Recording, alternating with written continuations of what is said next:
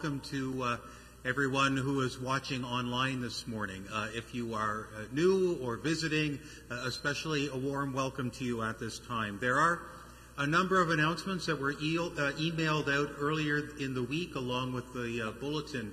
and just to say that if you do watch online or if you are attending here and do not receive those weekly emails with the announcements, please contact the office uh, if you would like to receive those by email. There's uh, announcements this week in regards to the Lenten envelopes, to our prayer shawl ministry here at Woodlawn, uh, and a special announcement uh, for a youth day that's coming up. So please take the time to read through those and to read through any announcements, for you may find something that interests you.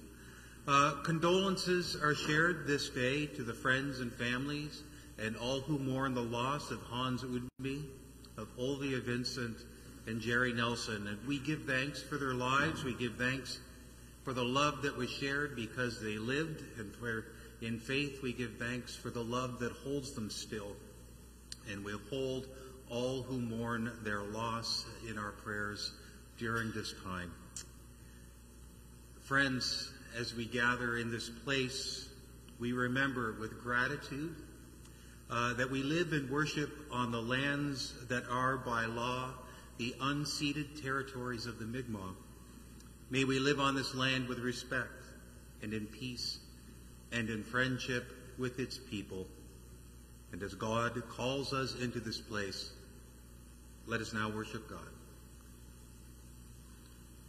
Here on this first Sunday of Lent, the colors have changed and we see the purple Lenten candles marking each uh, Sunday that lay ahead on this journey. We have the beautiful banners uh, that now adorn this sanctuary and these purple flowers here that remind us of Christ's journey to the cross uh, when the, he was adorned by Pilate with a purple robe. And now we are called to share this journey, to remember this journey, and to consider life where God meets us. We are called to consider and wait where God feeds us.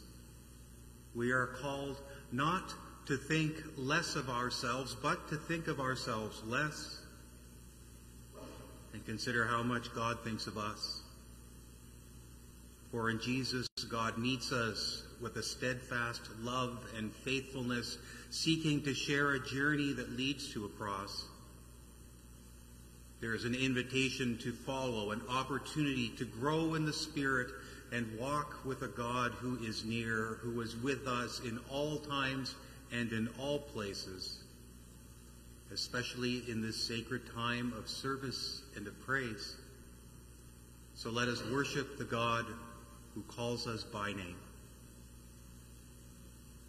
And I invite you to stand as we reflect on the words of number 161, I have called you by your name. And if you would like to hum along, please feel free to do so.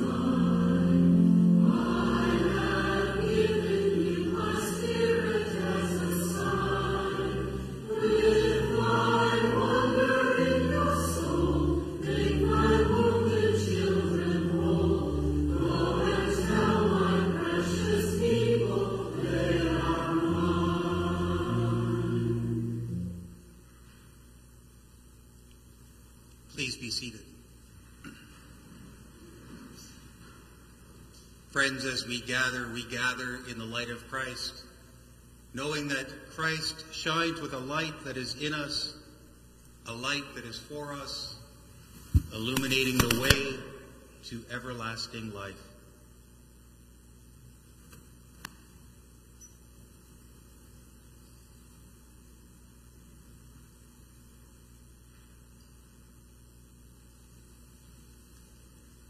Invite you to bow your heads and let us breathe deeply and let us pray together.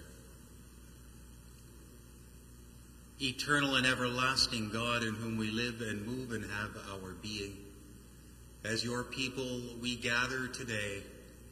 Some gather in this sanctuary, some gather at home. Wherever we are, may we uh, know your light and may we feel that deeper connection to you and to each other. That this time of worship, this time we give back to you, might be for us a time in which you serve us by your grace, by your wisdom, and by your mercy. That we might find ourselves drawn closer to you, that we might discover your presence in our midst that we might become the people you have called us to be through Christ Jesus. A people of love, of justice, of mercy and peace. And so as we gather, we pray in his name, in the strength of the Spirit. Amen.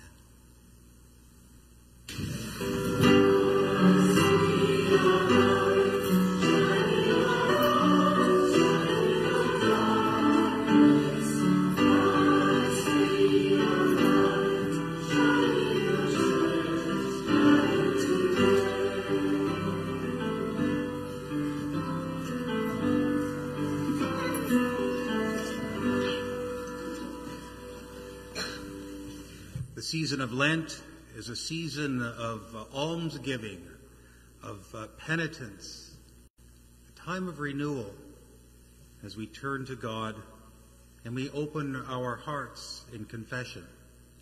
And so let us pray.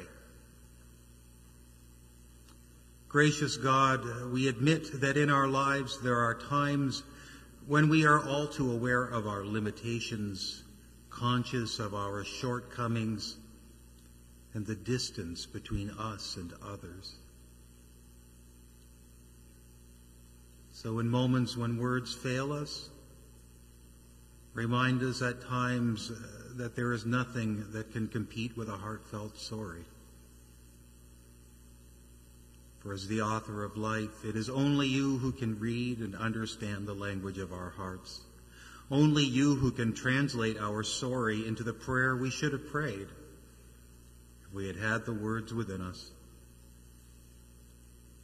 And then you forgive, and having forgiven, you surround us in an embrace of love, seeking us, seeking to draw us close to your heart, as it was always meant to be,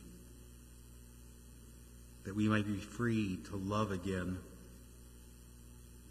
so thank you, God, that we can open our hearts to you in confession and give us the confidence of faith to receive your gift of forgiveness. Amen. Friends, we have called out to God, and God hears our cries. God is merciful in spirit, for as Christ shared with those who listened. God does not come into the world to condemn the world, but in order that the world might have everlasting life. Let us believe in the good news and rejoice.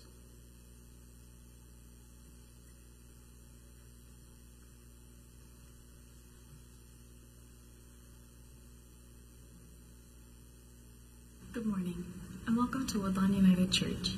My name is Katie, and we are so excited to have you here. As you can tell, I'm not here in person.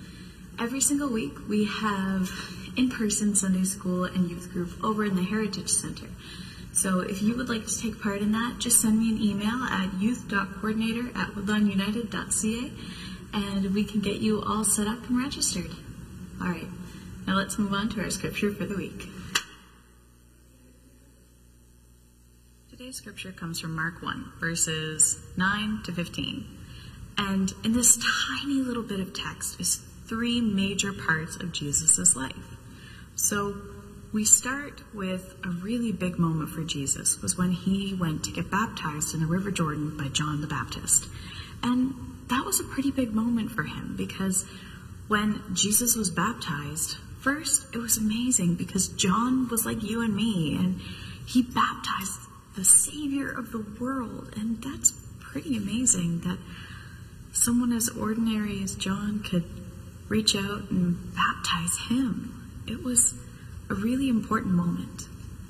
And so, Jesus, when he was being baptized, was told, This is my beloved Son by God. And everybody heard. Can you imagine that? Hearing the voice of God. It's pretty remarkable. And the second thing that happened in Jesus' big three events in this part of the Bible was that he went into the wilderness for 40 days and he was tempted and taunted and he was forced to live with these wild animals and it was really really hard but he did it and he had faith in god the whole time and it really strengthened his relationship with god. Now the third thing was the moment that jesus decided it was time to start his ministry his exact words were the time is fulfilled, and the kingdom of God is at hand. Repent and believe in the gospel. So, what Jesus is saying here is that it's time for him to deliver his ministry to the world. And it's time for him to show everybody that he is the Son of God and that he is ready to help us learn and to grow and to become better people. And I think that's pretty amazing that he reached out and decided that this is the time, and it was the right time, and how God seems to know when the right time is for us. Thank you for joining me for this week's story time. Now, before we go, let's pray. Dear God, thank you for knowing when's the right time for us. Thank you for delivering your gospel to us and for you giving us your Son to teach us and to guide us. We are so grateful for you, and we hope to live our lives in the way that you taught us with love, kindness, and compassion. In Jesus' name we pray. Amen. All right, everybody. I'll see you next week. Bye.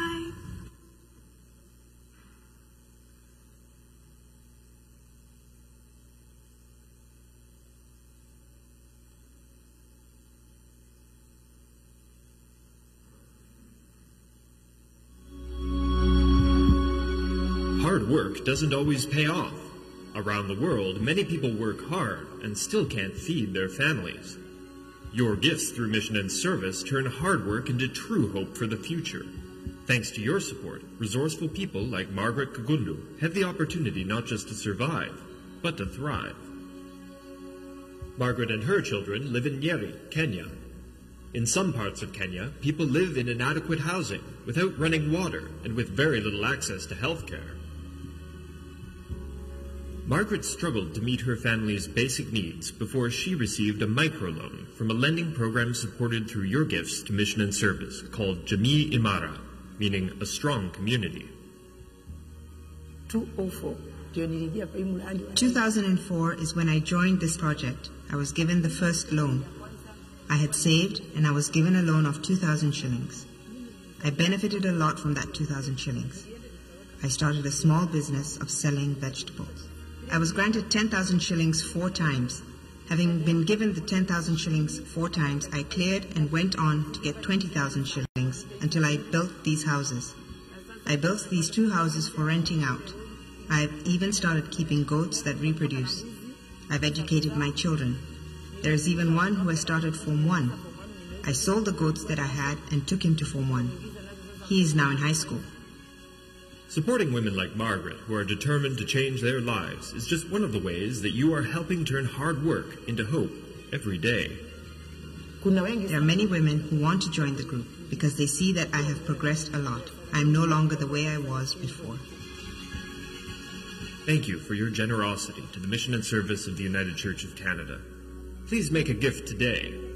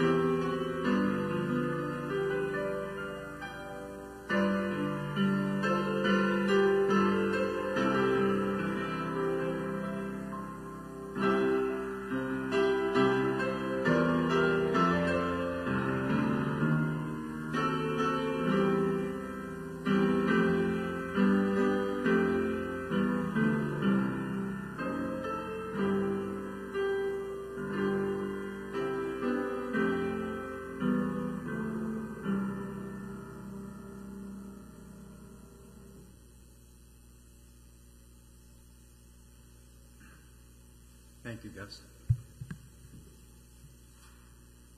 Our scripture reading this morning comes from the Gospel of Mark. And early on, especially in Mark's Gospel, things uh, happen in a hurry. There's, the word immediately is used a lot, uh, you might discover if you read through the Gospel.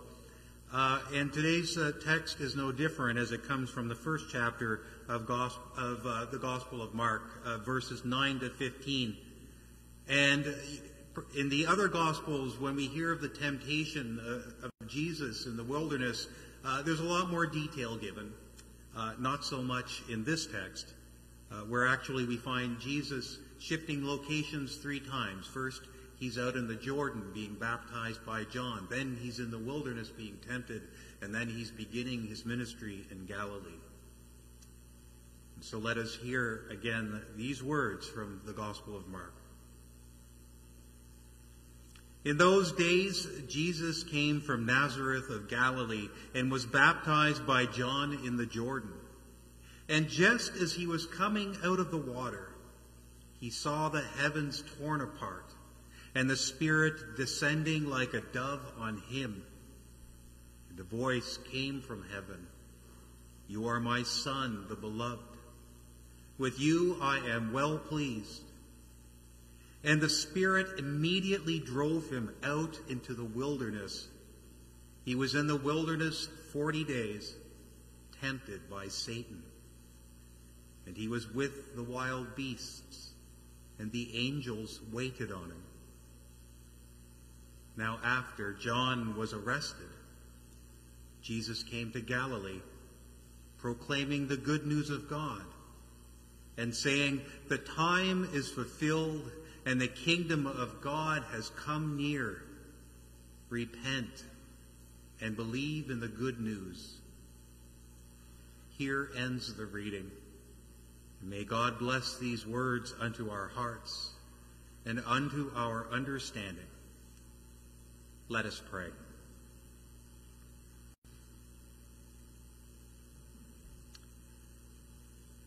Holy God, as we gather We offer you words of praise. We raise up prayers from our hearts and we reflect on your word to us in the scriptures.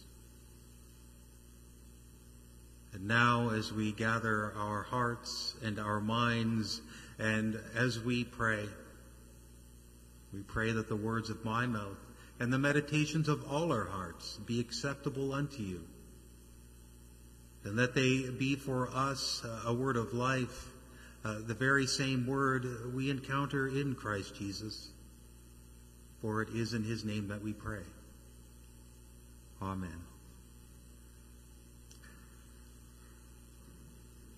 So recently I was re- uh, listening uh, on the radio to a, a, podcast. And it was a podcast and it told a story about researchers uh, who are at a place that you might consider to be like one of the edges of the earth. I don't believe in a flat earth, by the way, but it's just, you know, a figure of speech, right?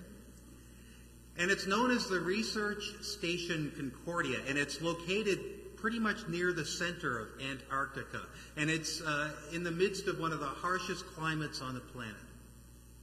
It's a place where, for a lot of the year, there's 24 hour darkness, with the wind chill, temperatures can reach a minus 100 Celsius. And because it's four kilometers above sea level, the air is really thin and it can be hard to breathe. It's a place where life can seem impossible. There's a researcher there. His name is Dr. Alexander Kumar, and uh, he's a man referred to as having the loneliest job on earth. And at Research uh, Station Concordia, Dr. Kumar is trying to understand the physical and the psychological effects of isolation. In particular, why he's doing this is because he wants to understand the impact of extreme isolation when it comes to the possibility of humans traveling to Mars. Because the biggest obstacle, he says, when it comes to deep space travel isn't technological. We all know that because we had that, that uh, probe that landed on Mars this past week. We can get there. But one of the issues is the impact and the effects of isolation on sending humans there. And so isolation, you see, you get it in its rawest form at Research Station Concordia. Some of his fellow researchers there say things like, you know, being there for an extended time, they feel dead. They feel as if uh, things just aren't real. They describe it as living in the prison of your own mind. Even their senses change and they begin to overreact to the slightest stimuli. And they call Antarctica in that station, White Mars.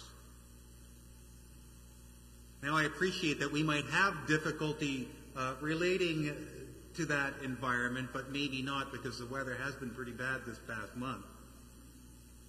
But there are times when we do and we can feel cut off from so much, removed from the regular rhythms of life. Our senses can change.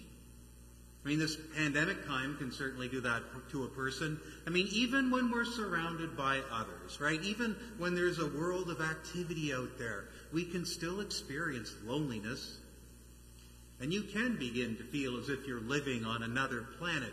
It's the isolating effect that comes when we find ourselves living on the edge of life. And you know, Jesus was an expert when it came to life on the edges.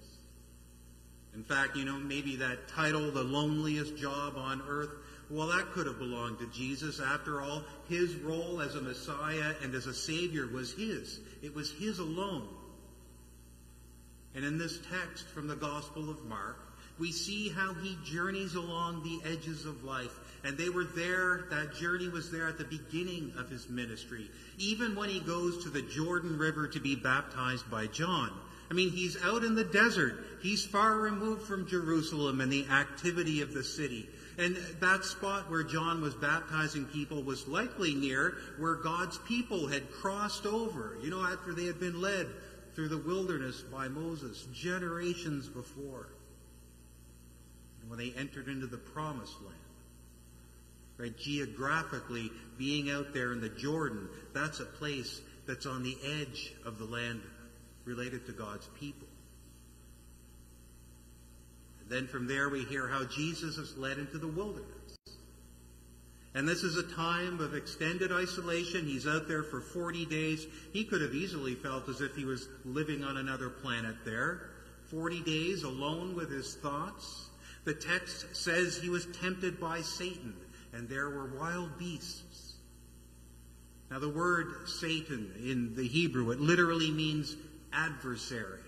I mean, Satan was this power that, that instigates tests or trials in human beings a power so real that it became personified.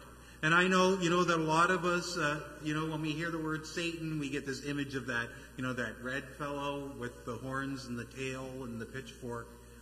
But that image did not exist during Jesus' day.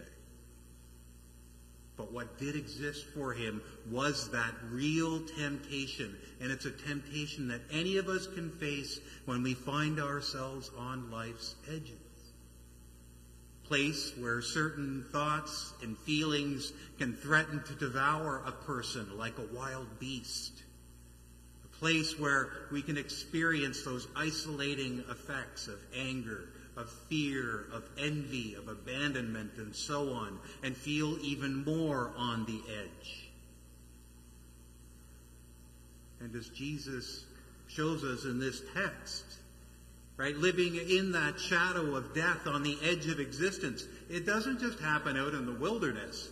When he goes to Galilee to begin his ministry, calling disciples, teaching and healing people, Jesus, he isn't out of the woods yet. He begins his ministry, as the text notes, in the shadow of John the Baptist being arrested. I mean, remember, John was the one who had been preparing the people for Jesus' arrival. He had even baptized Jesus. Jesus and John were known associates. So even then, even when there's so much, so many people around, and there were dangers, there were still powers that would seek to isolate and imprison Jesus. He was always on the edges of life. I mean, I don't think it's that much different for him these days. You know, for any of us. I mean, even when we can be surrounded by, you know, have lots to do and we can hear the news and the chatter. I mean, we still live in a, a world that can push anyone to the limits and experience life on the edge. Right? We can be confronted by those same feelings, those dangers. You, you know, think of, you know, being afraid, anxious, feelings of envy, of guilt, even despair. And we can become isolated. And it can test the very limits of our humanity and our faith. And I know, you know, over the years, uh, there's always been certain occupations and certain individuals uh, that can have, uh, you know, a higher uh, level of isolation. People in leadership roles, uh, police officers, judges, doctors, dentists, even clergy. They speak of the isolating effects of their vocation. But these days we know, and research has shown, that so- social isolation is a growing problem. Right, and the pandemic hasn't helped. We all know this. For example, you know, now that more people work from home or learn from home, social interaction that was a part of the workplace or a part of the classroom, it's muted or it's absent. Some who were excellent students or model employees are now struggling and the edges of life are closer than they used to be. I mean, yes, technology can help us to overcome uh, some of the isolating effects that have been brought upon us and keep us connected, but not everyone has the knowledge or the skill or the money to adapt to new technology. Besides, you know, I think as much as technology promises to keep us connected, you know, I think of emails, they can be safe and they can be convenient it's still no uh, substitution for having a real conversation with someone, is it? Because deep down we are social creatures, right? We're biologically hardwired by evolution to seek companionship and relationship. And no matter how independent sometimes in life we want to appear, most of us, we know the truth that we need each other to survive. And thus, when those fragile bonds of a social system uh, become disrupted, you know, we can feel threatened, our survival. Depression and anxiety can set in. And it's something we all need to be aware of as this pandemic time wears on. Because any one of us can find ourselves on the edges of life, isolated and alone. I mean, but even before the pandemic, we didn't live in a world that needed more isolation. I mean, if anything, we've always needed less. And, and, and, now I think we're, we're being called not only to mitigate the coronavirus itself, but take seriously the effects of the isolation that so many are experiencing en masse. I mean, it's ironic, you know, in recent years, the federal government was doing a lot of work and instituted uh, much needed reforms regarding the relegation and care of prisoners, right, in federal prisons who were placed into solitary. They changed the regulations because they knew it wasn't a good thing. And then, you know, all of a sudden, en masse, you know, our country, the world, we're struck with a pandemic, and now we're all being isolated in some, in some ways. But maybe, maybe the isolation can draw us closer together and closer to God. Maybe it will build an awareness and an understanding in regards to isolation as we faced its impact. I mean, I think of ones who struggle with mental illness, for example. I mean, mental illness is so often, if not always, accompanied by a sense, a feeling of isolation. And it's only compounded because people do not want to acknowledge or talk about it. I mean, I look at some of the numbers I've read during the pandemic. There are adults that, you know, even though they acknowledge they're having a tough time and that perhaps their mental health needs are higher, they still aren't accessing the services and the supports that are in place. We don't want to talk about it. We don't want to admit it, and we feel isolated, and, and we become even more out of touch on the edge. You know, over the years, I've uh, facilitated grief groups. And in any group, almost, I believe, that I've been a part of, at least one participant will always note how when they've gone through that period of grief or loss in their life, that one of their most profound experiences is a sense of isolation right? Living, and they say this, I feel like I'm on the outside or I was on the outside looking in. Someone in the group will say things like, people don't want to talk about it, you know, uh, you don't want to talk about it. You know, people are afraid of, you know, getting upset or making somebody upset or, or being seen as weak. And, you know, whenever someone shares that, other participants will usually nod their heads in agreement because they experience the same thing think about it because this past year has been a time when many have endured significant loss in their life loss of loved ones, loss of employment, loss of relationships, loss of activity, of security, of freedom. The loss of people and of things that have helped define who we are. And suddenly the edges of life aren't so far away they are near.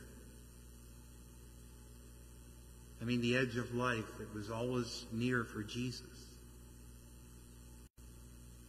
But even though Jesus, you know, even though he was always on the edges, something he came to show us and remind us is how God was always along those edges with them. That he knew God was near. Right? When he was baptized in the Jordan by John, it was a place where he heard the words, You are my son, the beloved, with you I am well pleased. I mean, God was with him there out on the edge, expressing hope for Jesus. And in the wilderness, you know, where the wild beasts were lurking, and Jesus had to face Satan. The text says that he was led by the Spirit and that angels waited on him. I mean, in other words, right, God was there too out in the wilderness. I mean, as one observer I read notes, he, he reminds us, you know, that this text, it says something along the lines that our well-being comes in our nearness to God, you know, not in keeping distance from our enemies. You know, sometimes we just want to keep our distance thinking that'll make things better. When really what makes things better is that nearness of God. And I think, you know, when we speak of uh, our nearness to God, uh, it would be better and more apt and more biblically appropriate to say God's nearness to us. Because J- Jesus reminds us of this, that God is there on the edges, that it is God who draws near to us. I mean, this was his message when he went to Galilee to proclaim the good news of God after John was arrested. He said, The time is fulfilled. The kingdom of God has come near. Jesus' trust in the nearness of God is one of the defining marks of his ministry. He was always reaching out to the ones who found themselves in isolation, seeking to restore their relationship and place within God's realm. That God, the Spirit of light, hope for us, could be present in any place and in anyone at the very edges of life itself.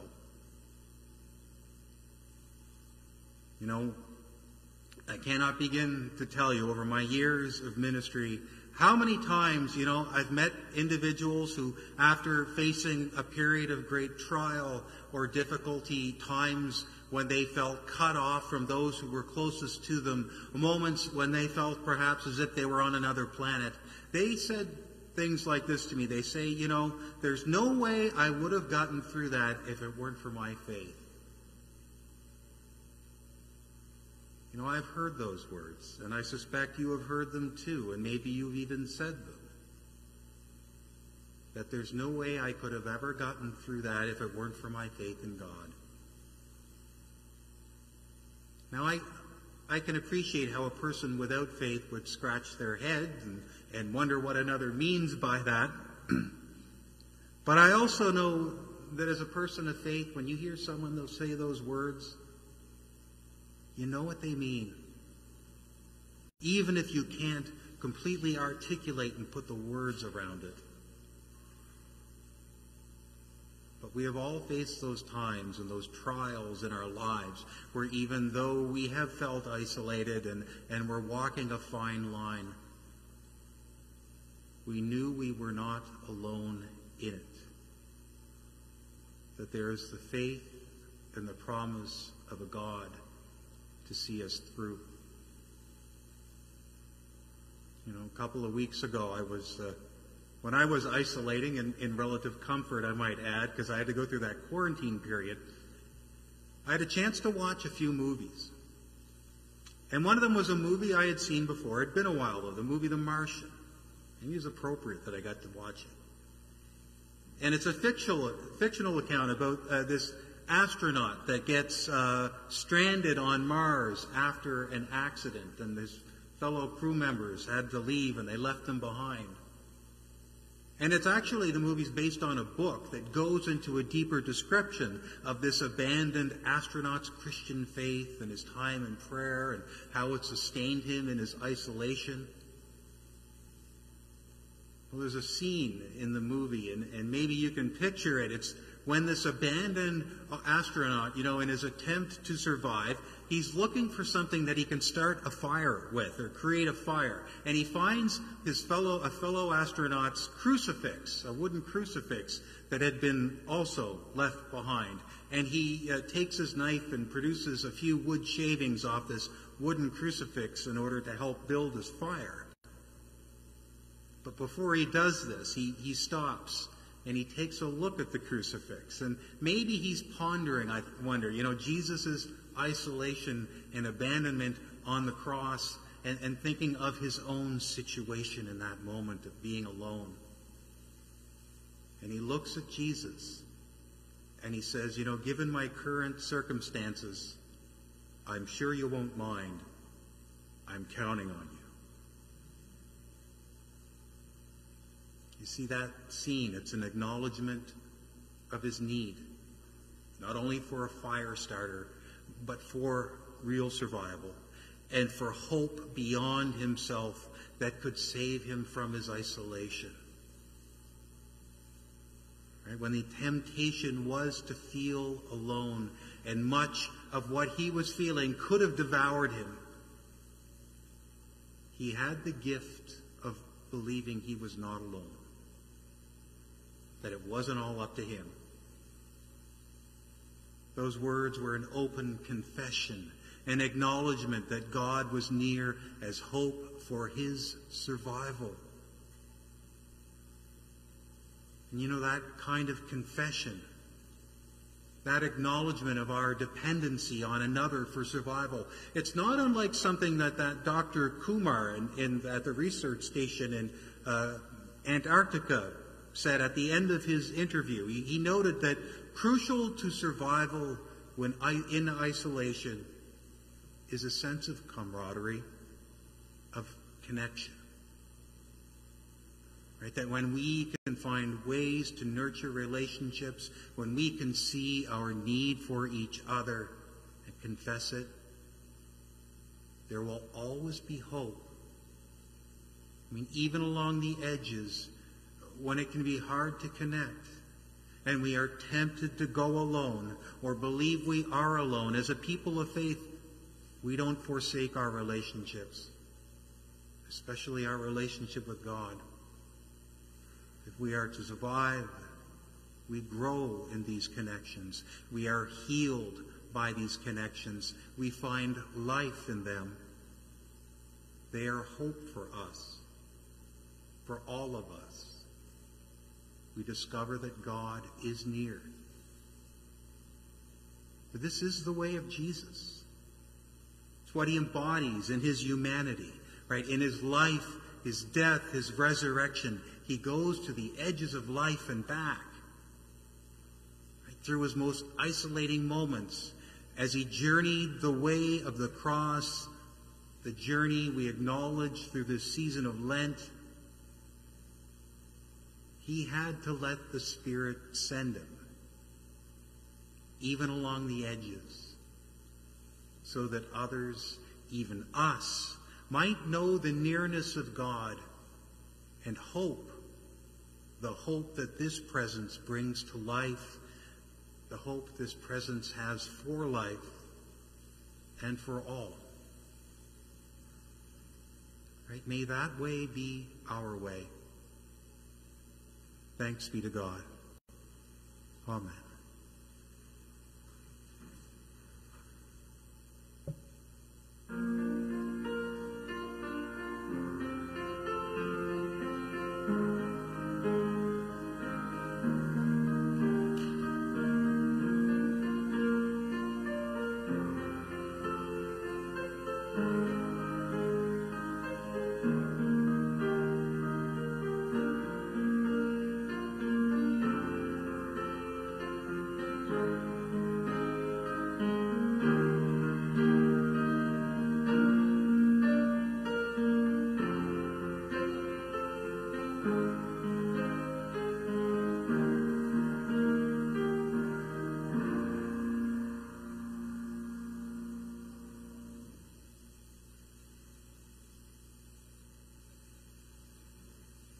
Friends, as a community of faith, uh, we seek to support the life of the work and the ministry of the church uh, in so many ways, both here and around the globe, through the gifts that we give, uh, through the time that we share, and the lives that we live. And so now let us again present our gifts before God as the offering is received, and uh, you will notice that there are uh, bins on your way out in which uh, offering envelopes can be placed.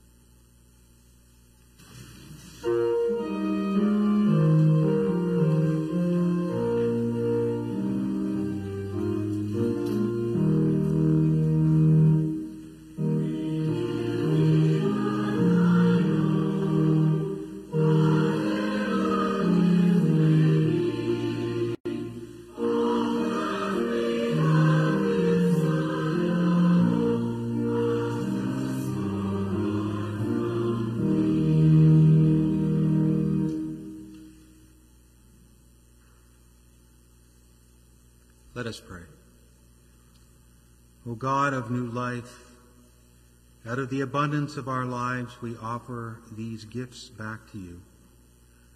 Through your blessing and our willingness to share, may these offerings become a source of hope and love in this church family and in the community beyond us. We pray in the name of Jesus Christ. Amen. Friends, I invite you to stand that we might uh, reflect on the words of a new creed.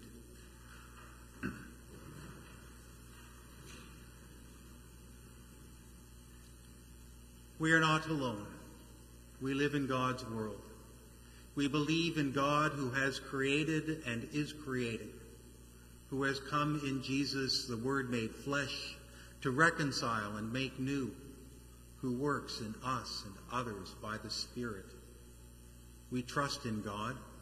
We are called to be the church, to celebrate God's presence, to live with respect in creation, to love and serve others to seek justice and resist evil, and to proclaim Jesus crucified and risen, our judge and our hope. In life, in death, in life beyond death, God is with us. We are not alone. Thanks be to God. Please be seated. And again, we have this gift of prayer. And let us now open our hearts and minds to God in a time of prayer. O Holy One, in the midst of winter when the days are cold and the wind can pierce, remind us of the warmth of your love and the gift of your presence. In the midst of the winter, as we journey through this season of Lent, when the flowers of spring still lie hidden in the earth, when leaves are still off the trees and the world can seem bleak. Remind us that Easter is but a short time away. And when in our lives we feel as if we are experiencing a season of winter, help us to know your spirit of life at work in the depths of our being, giving new shape to our living, with an opportunity to once again know of your nearness. For the presence of your Holy Spirit in us, we give thanks. For the words and songs within each of us, we give thanks. And for the lives and the inspiration of all your people, we give thanks. For the life of Jesus, we give you thanks. And for how that life has inspired the witness and the presence of your church, we give you thanks. We give thanks for so many gifts. Gifts of good food and of friendship, the gift of living. Thanks for times shared, times of excitement and pleasure, for times when we can share in our grief and those vulnerable moments along life's edges. Places where we discover uh, that strength that is beyond us and your hope in us and for us. Thank you, O oh God, uh, just for this gift of prayer for the opportunity to have a grateful heart and, and what joy that can bring. Help us to lift up, to name, to pause and reflect on the blessings that are ours, the blessings that we have been given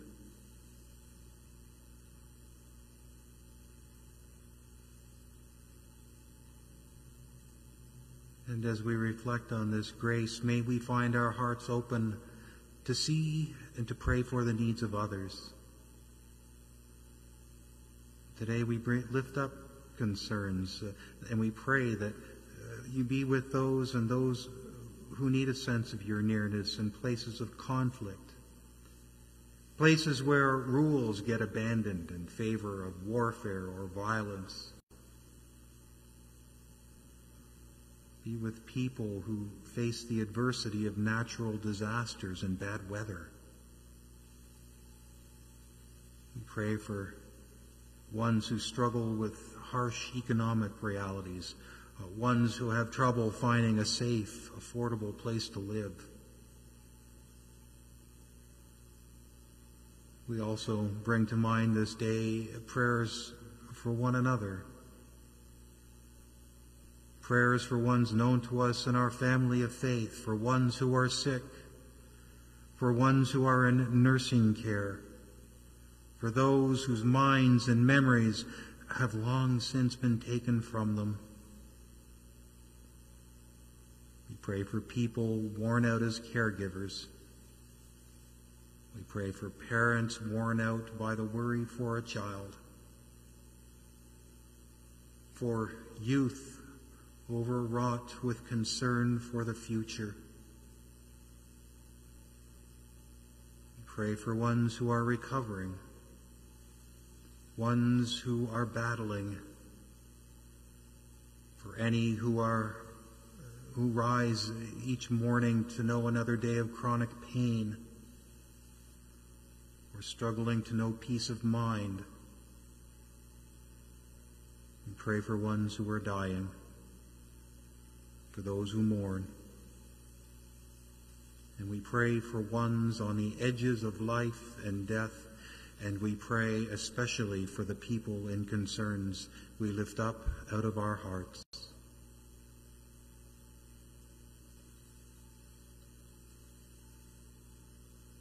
Holy friend, hear our prayers, and answer in your love. And may we continue to discern how we can be the church you would have us be. Help us to be a community open to your transforming love that lends shape to our lives and our living. May we move forward boldly, knowing even through this pandemic time that we are a part of your eternal kingdom of grace. May we find each day sufficient for our needs, find forgiveness when we do wrong, and share forgiveness with others. In times of trouble, may we center our lives on you, for you are love, the love from whom comes the origin of our existence and the strength of our future the same love you embodied in Christ Jesus, the one who taught his followers to pray, saying, Our Father, who art in heaven, hallowed be thy name. Thy kingdom come, thy will be done on earth as it is in heaven. Give us this day our daily bread, and forgive us our trespasses as we forgive those who trespass against us and lead us not into temptation, but deliver us from evil. For thine is the kingdom, the power, and the glory, forever and ever. Amen. And I invite you to stand now as uh, we reflect, and you can certainly hum along to our last hymn this day, number 651, Guide Me, O Thou Great Jehovah.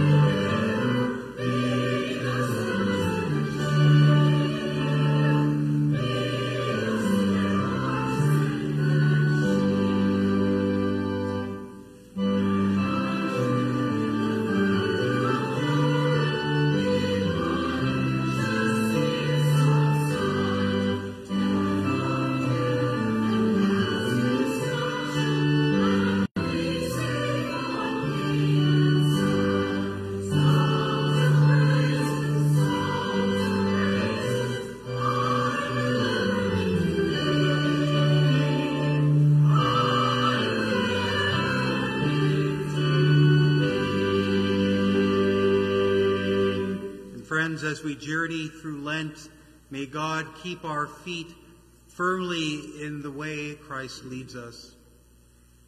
May God help our lips speak the truth that Christ teaches us and fill, fill our bodies with the life that is Christ within us. And as you go, may the Lord bless you and keep you. May God's face shine upon you and be gracious unto you. And may our Lord shower you with kindness and give you peace. Amen.